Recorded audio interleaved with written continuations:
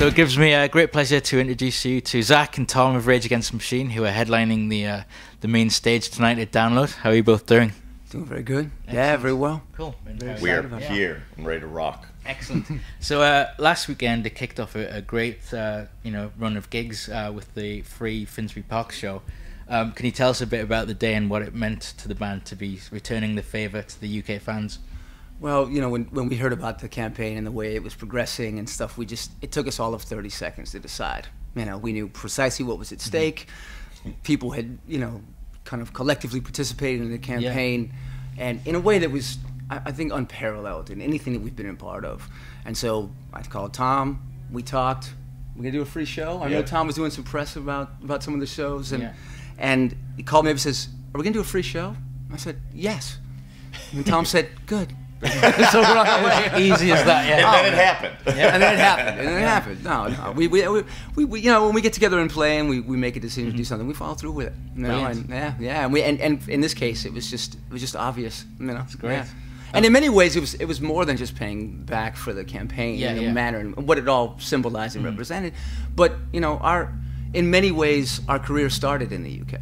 Yes. In many ways, it did. We broke here first you know, before we did the United mm-hmm. States, and people were very appreciative. And so, I mean, it's it's a perfect way to to kind of bookend the chapter yeah, there. Yeah, definitely. Yeah, yeah. Um, what was your highlight of the set? Was that the moment when you brought John and Tracy Moore the instigators of the campaign? And uh, the presentation of the shelter check. Yeah, I mean, there, there were a lot of highlights. I mean, one was the, the whole spirit of the event was something that was re- felt really special. You know, the fact that it was a free show, the fact that it was something that began as, you know, two people sitting around their kitchen table saying, We've had enough of this bullshit on TV and the bullshit at the top of the charts. We're going to do something about it. We felt so honored to have our song be the one that was drafted to unseat the X Factor behemoth. And, uh, and so it really came to a head at the show. And I think that the uh, you know I enjoyed the Simon Cowell video at the beginning. Was that we promised that he would introduce the band, and he did. Mm-hmm. Uh, then there was the presentation of the check, the fact that it all went to charity felt really good. And but I do have to say that the the highlight was playing the chart-topping song "The Killing in the Name." Yeah. It's the first time that anywhere in the world Rage Against the Machine has had a number one pop single. Yeah. We've had number one rock singles, alternative singles, metal singles, whatever. And so to in the land that made Rage the number one pop act it was great to rock that jam. Yeah, and, and I think too that if you look at the event and the way that it came about, you know, somewhere between the cracks in the armor of the kind of X Factor monopoly, yeah. and and the manner in which the kids participated was a real cultural revolt in a way, and all it required was a simple, concise initiative. Two people in their kitchen mm-hmm. saying, enough of this. Isn't that how the best kind of uh, revolution start? Yeah. Well, I mean, they, our song was they had millions of pounds in the campaign to make the X Factor song number one, and the whole buildup of the year, and the number, the amount of money that was spent to promote "Killing the Name" was zero pounds and zero pence, and we sold over five hundred thousand yeah, records. Talk that about yeah. grassroots. Yeah, yeah, yeah, yeah, absolutely. Yeah. I mean, it the, the lesson of the event, you know, which to me seemed, you know, on the one hand, it's it's a fun way to fuck with the system and and sort of upturn the, the pop pyramid, overturn the pop pyramid. But on the other hand, it really is an example of what people can do when they organize, when they act in solidarity, and it's I think a microcosm of change that can be made in other areas. Yeah, definitely. Um, there's a lot of smiles on stage that night. Um, what's the atmosphere like in the bands? Is everyone getting along better than they've ever done before? Oh yeah, yeah no, no. I mean, since we started playing shows again in uh, beginning with Coachella in, yeah. in 2007, it's been nothing but but great. It's just every single show. Yeah. There's never ever been anything, and I think that what what always lied that always lied beneath the surface mm-hmm. with this band. We always yeah. cared very much about each other, and that's become evident now in a way that it hadn't before. Mm-hmm. But we were too young and dumb, so uh, to realize it. To realize, yeah. no, in a certain sense we were. You yeah. know, we kind of learned to take care of each other. Bullish. Well, just stubborn. Well, you know, there's all kinds of it, bands are funny yeah. creatures. Yeah, you know, they just are. They yeah. just are. Yeah. So the question is, uh, you know, you, uh, the band haven't released anything for a decade now, and you're all getting on along great.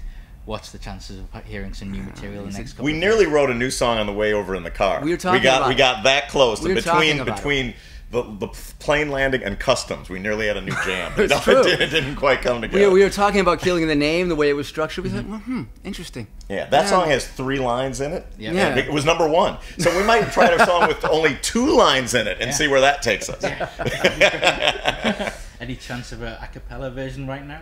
Or? Oh. No, it didn't. Get, it didn't really make it, out of it- the, it's- the Ah. custom. stage. Conceptually, you, you Yeah. know. Right. We we have talked about a title. It's called "The Sound of Our Future." Right. Yeah. Um, so you took Gallows out uh, for the Finsbury Park show and several follow-on shows. We took what? I'm Uh, sorry. Gal- uh, the punk band Gallows. Oh, from yeah, yeah, yeah. What Uh, What is it about the band that you kind of en- you know enjoyed seeing? They're just pretty ferocious. Yeah, they're Yeah. pretty un- like relentless music. I've always been a fan of that kind of music, Yeah. and they seem to be very genuine about it. Yeah. You know, there's a lot of bands that kind of use that as an instrument. It's a little more of a stick, and they're very, very down to earth. They, they, they opened up for us in uh, in Italy a couple of years ago. Yeah, in, in Yeah. 2008, and the, it was a pretty big show. It was like a stadium show, maybe like 60,000 people. And the singer, within the first uh, 10 minutes of their show, managed to alienate all 60,000 people. I thought that's a band we've got to keep our eye on. Brilliant. Yeah. um, I understand there's been uh, ferocious table tennis matches uh, happening after the shows. Um, Yeah, yeah. And uh, Tom mentioned previously that uh, Rage Against the Machine have some uh, elite uh, table tennis players, uh, and he name checked you as being the, the top player of the uh, the mini tournament. Yeah, you know, I like to bring people in and enjoy their company and their time.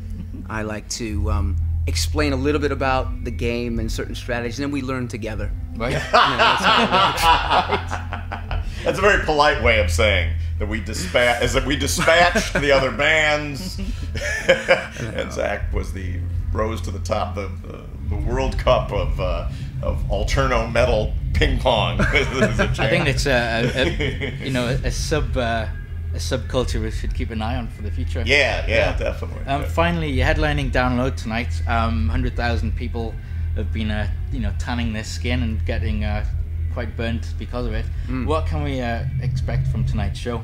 I mean, I think you can expect what, whether it's in front of ten people or or fifty thousand or hundred thousand, you can expect what, you know, what we always do, you know, and that's just to play our hearts out, to give every ounce of energy to the songs, and you know, hope people have a wonderful time. Cool. and this is our last. This is the last show of the this European run. So Right. we're gonna leave it all on the stage tonight. Right. Yeah, and we had ACDC play last night and Aerosmith. You know, one thing, uh, Rage Against the Machine, we are competitive on the ping pong table and we are competitive on the concert stage. So we're going to be opening the show with Highway to Hell and closing with Walk This Way.